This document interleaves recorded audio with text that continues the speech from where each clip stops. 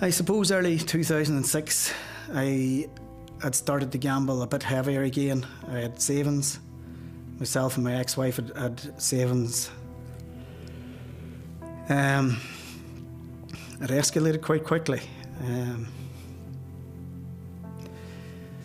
I remember losing a fair bit of sum of money in, in July of 2006, and unfortunately, things moved very quickly at that stage where I was gambling for maybe three to four months at a time and had accumulated an amount of 60 something thousand and lost it within one evening when uh, I lost one football bet. And that's, that's the sort of behaviour that a gambler can achieve when, when an addiction completely takes over their life. It went on five years of my life. Um, you live, I suppose, in an inner, an inner bubble where you are actually living your life physically, but mentally you're nowhere near where you think you are. It's a complete life of loneliness.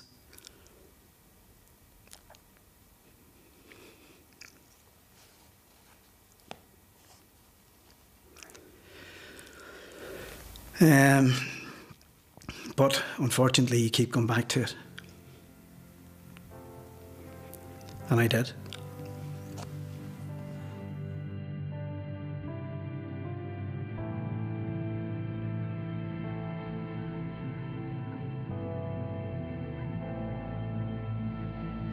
It went from thousands to tens of thousands. Um, I suppose over five years it culminated in over 500,000 of debt.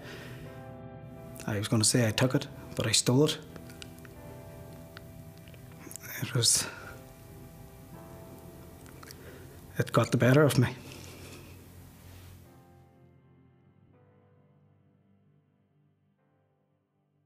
Sedere Bedacher Fortunately for myself and my employers late in 2011, they obviously discovered the fact that I'd been stealing money um, to fund this addiction. Um, and the company brought me in and ultimately sacked me. Um, and I went home to,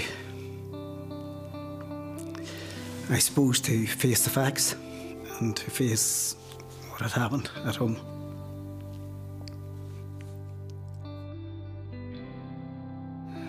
You've probably fooled particularly the people that mean most to you over the four or five year period.